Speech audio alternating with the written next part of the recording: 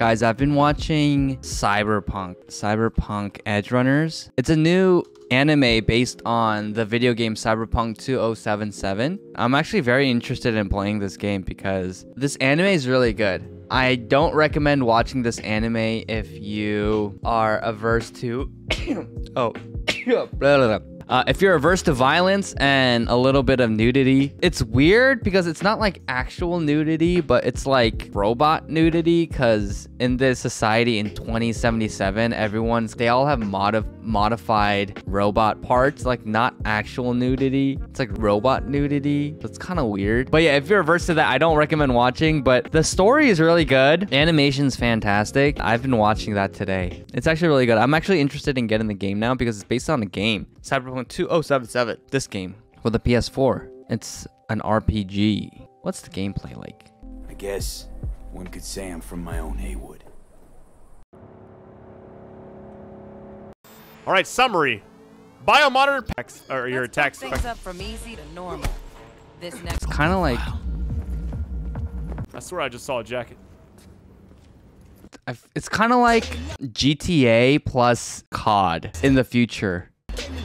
What does the lockdown do for the Nerdist? Necessary security Fill an entire enemy line. Their alert indicator will be. Yeah, I don't know. It doesn't actually look that fun. Never mind. Now, if they made a video game based on the anime, I feel like I'd be a lot more interested because the art style, the vibe, and the flavor of the anime is very unique. It's kind of like a modern cowboy bebop almost. So I really like it. Like, look at this. The art is freaking amazing. It looks so cool. It's and it's really good. Voice acting is fantastic as usual, but the animation is really really good. Studios Trigger.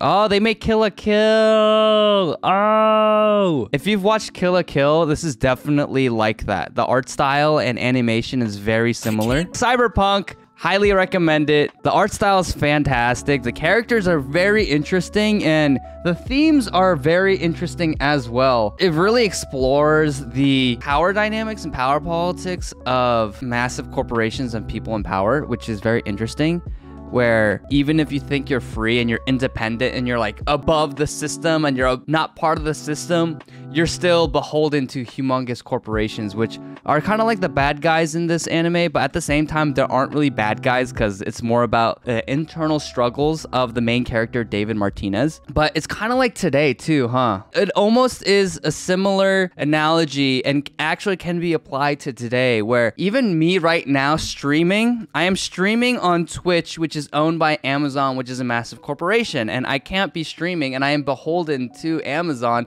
by streaming on this platform. In the same way, this operating system, Windows, I'm beholden to Microsoft. And if I'm not relying on Microsoft, I can't be doing this and what I'm doing right now. Or I have a MacBook.